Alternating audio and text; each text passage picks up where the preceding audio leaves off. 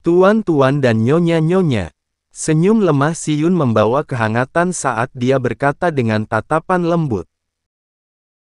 Untuk menguji kemampuan kalian, para tetua sekte pemurnian senjata kami secara khusus mengeluarkan formasi mantra roh surgawi kami. Dalam waktu singkat, aku akan mengirim kalian ke formasi roh surgawi untuk berlatih selama sebulan.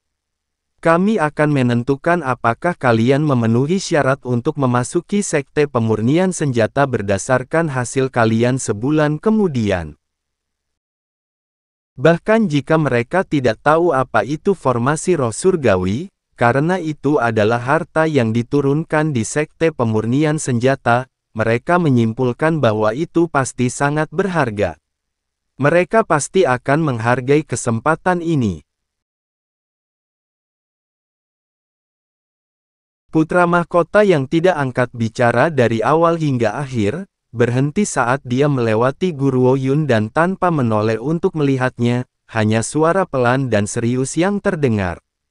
Guru Yun, apa yang kamu lakukan barusan hanya untuk memamerkan kepribadianmu untuk menarik perhatian putra mahkota ini.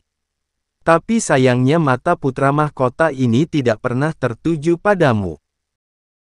Setelah mengatakan itu, dia menghilang dari pandangan Guru Yun tanpa melihat ke belakang.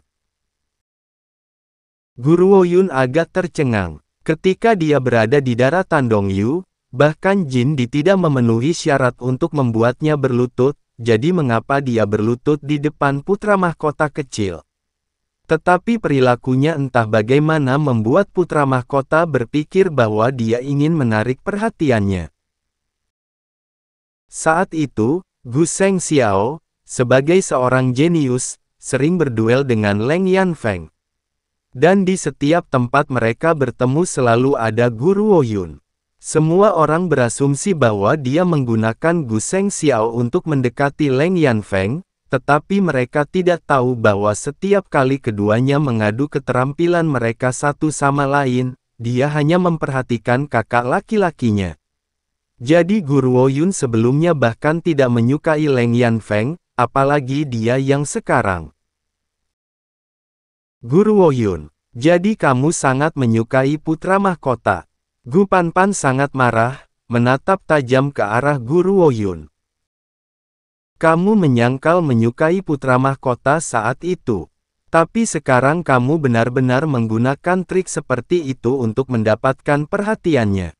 Untungnya putra mahkota melihat trikmu. Kalau tidak, melirik tatapan yang dilemparkan padanya oleh banyak orang, Guru Woyun mengedipkan mata dengan polos. Apa itu putra mahkota? Apakah itu bisa dimakan? Bisa dimakan. Kamu benar-benar ingin memakan putra mahkota.